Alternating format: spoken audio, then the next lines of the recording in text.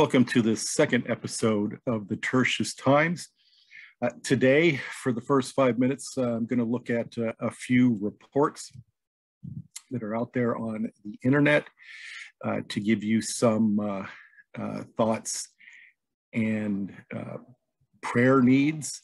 certainly, this young girl here from Coptic Solidarity, yet another Coptic Christian kidnapped in Cairo. Uh, this is in Egypt, obviously.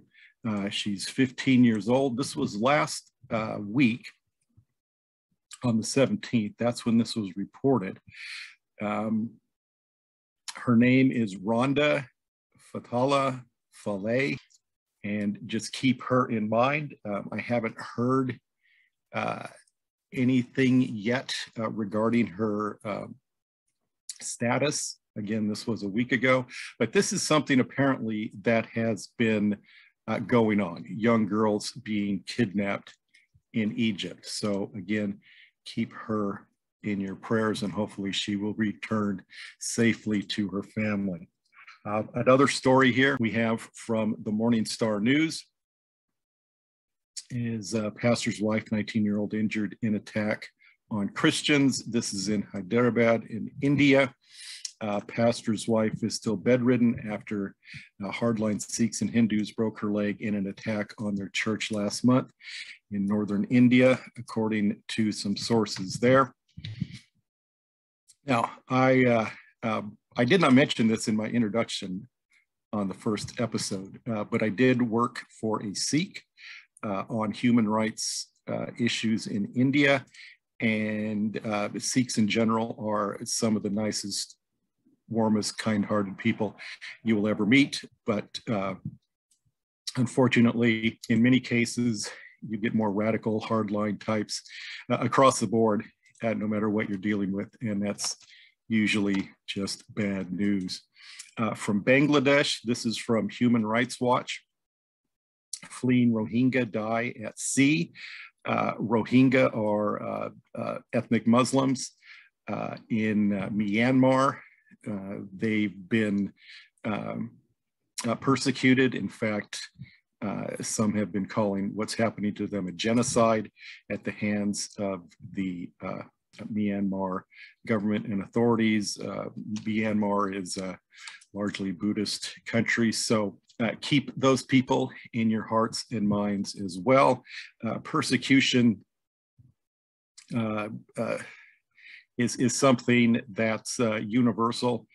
And when uh, you have ideas that are contrary to a certain group, uh, no matter what uh, that issue is, it's uh, um, usually ripe for persecution. Now, this is actually from last year.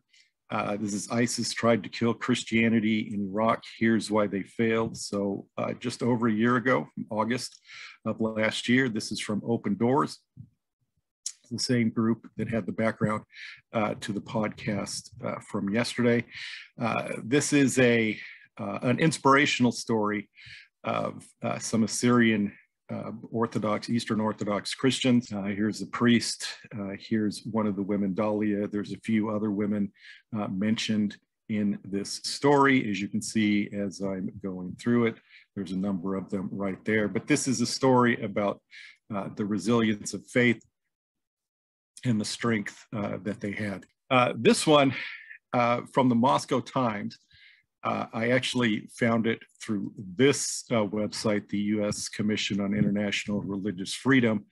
Um, but again, this is from the Moscow Times. Russian Jehovah's Witness jailed for Bible talk. Uh, this one struck me as rather silly, although it is a very serious issue. Again, people should just have the right to believe whatever they want to believe uh, and have uh, the freedom uh, to uh, speak about it.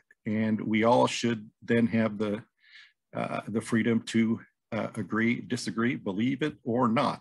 Um, and so Jehovah's Witnesses, even though we would consider them, at least I would, as a cult, they still should be allowed to talk about whatever they believe. And so finally, again, uh, this is a great source here, uh, the U.S. Commission on International Religious Freedom. uh, to uh, uh, learn about uh, persecutions, violation of human rights, freedom of conscience all over the world. And I will rely very extensively on the reporting that they put out. All right, so the, the second half of this podcast will be our continued interview with uh, Aryan and Ahmed. So enjoy. I just want to interject in here uh, very quickly that my question to Aryan and Ahmad had to do uh, with their parents, stories uh, their parents may have told them uh, when the Taliban uh, reigned in the 90s. Do you remember any particular stories uh, with, um, that they told you that would illustrate uh, how difficult life was? Yes. Uh, so my so there was a so like the story. What they told me is that uh, like women they did not had any rights. Like they couldn't become no doctor, no teacher, can't go outside to vote, no freedom of uh, speech.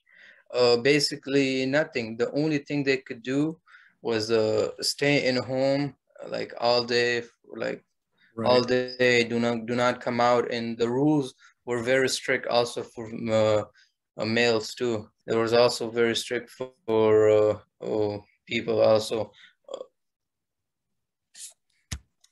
so you earlier said uh, you went to school there um, you obviously both being males um, were females were girls allowed to even go to school uh, so I would add that I'll add more to that. Um, so that time, uh, females they were not allowed to go to schools. Uh, uh, they were not allowed to go outside. But male, they were allowed uh, to go to schools and study, become a doctor, uh, right, or whatever. But the hardest um, thing was for male is there were some uh, Sharia rules, which they call this Taliban. They call it Sharia law which under that there are some rules for example if you steal something they would uh, uh, cut your arms or, or if you did add other things uh, so those were kind of the rules for male uh. okay all right um, anything else you you want to add because um, we're just about out of time for this segment uh, just something related to your experience uh, growing up there in Afghanistan? Yes. Uh, so as a me and my brother, as we were going to school, even though like at the time, you know, like it was not Taliban time, there was still fear in people.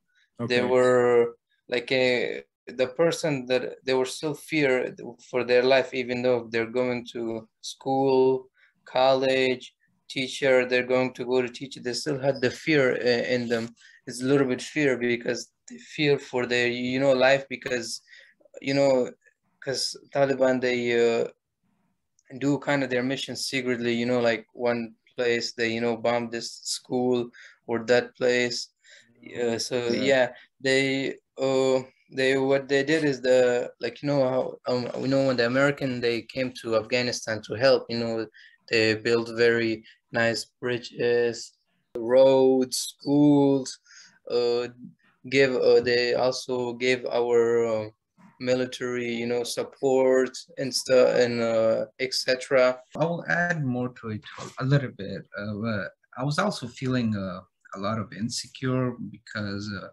uh, a background that it's educated a lot of those uh, people like taliban they were doing stuff like secretly like as my, my brother said so they were still killing oh. people, like for example, bombing uh, uh mosques, uh, bombing uh, some wow. government stuff. Yeah, like government buildings in Kabul and bridges and other things.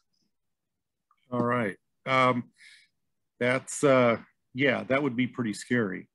Uh, yeah. so. so, all right, we uh, uh, we will stop there. I think that's a good introduction for people uh, to get a sense uh, of your lives, uh, what, life was like for uh, older members of your family, uh, your your mother, your father, your grandparents, and etc.